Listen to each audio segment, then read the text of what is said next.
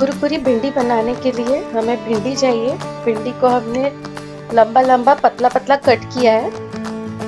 इसको एकदम पतला, लंबा कट करना है। मैं सारी भिंडी ऐसे कट करके तो दिखाती हूँ। अभी इसे हम एक बाउल में शिफ्ट करेंगे।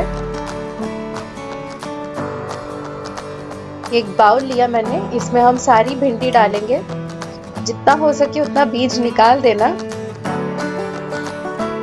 अभी ये जितनी भी बीज बची है, मैं ये सब फेंक दूँगी। ये हमने भिंडी सारी शिफ्ट कर ली एक बाउल में। अभी इसमें हम मसाले डालेंगे। ये मैंने चावल का आटा लिया है। एक चम्मच चावल का आटा जाएगा।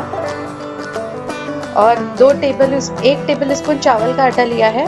अब दो टेबल स्पून हमने इसमें बेसन डाला है। अभी इसमें मसाले डालेंगे। ये मैंने हाफ़ टी स्पून लाल मिर्च पाउडर लिया है। और हल्दी पाउडर भी हाफ़ टी स्पून मसाले आप अपने टेस्ट के अकॉर्डिंग ले सकते हो। ये गरम मसाला और धनिया पाउडर। सब हाफ़ हाफ़ टी स्पून लिया है। थोड़ा सा आमचूर डालेंगे। और इसमें ये अजवाइन ली है। अजवाइन को हाथ से अच्छे से क्रश करके वो ऐड करेंगे। और नमक अपने हिसाब से, अपने टेस्ट के अकॉर्डिंग नमक ऐड करना है। अभी ये सब चीज़ों को हमें मिक्स करना है अच्छे से। अगर आपको मिक्सचर थोड़ा ड्राई लगे मिक्स चिपक अगर बाइंडिंग नहीं हो रही है तो इसमें आप थोड़ा सा पानी स्प्रिंकल करना। अच्छे से पूरा हम इसे कोट कर लेंगे भिंडी को। ये हमारा कोट हो गया। अभी से हमें डीप फ्राई करना है। ये हमारी अच्छे से भिंडी कोट हो गई एक दूसरे में। मसाले सारे हमारे इसमें लग गए हैं। अभी इसे हम डीप फ्राई करेंगे। तेल लिया है, तेल गरम करके रखा है मैंने। अभी जितनी भी भिंडी है, इसको हमें फ्राई करना है। अच्छा सा क्रिस्पी क्रंची होने तक इसे हमें फ्राई करना है।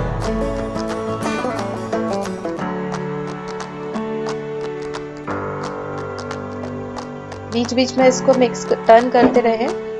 कि अच्छा पूरा रेड हो जाएगी हमारी, तब तक इसे हमें फ्राई करना है।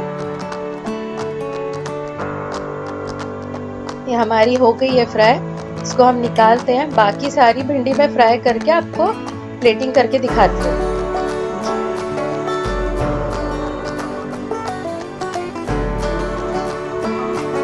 देखिए, कितनी अच्छी परफेक्ट हमारी कुरकुरी भिंडी बनी है और क्या कलर आया है इसमें और एकदम क्रंची बनी है। तो इसे बनाइए एंजॉय किए। दाल चावल के साथ परफेक्ट रेसिपी है। इसे एंजॉय करिए। और मेरे साथ कमेंट में शेयर करके बताइए आपको कैसी लगी। चलिए मिलते हैं नेक्स्ट वीडियो में।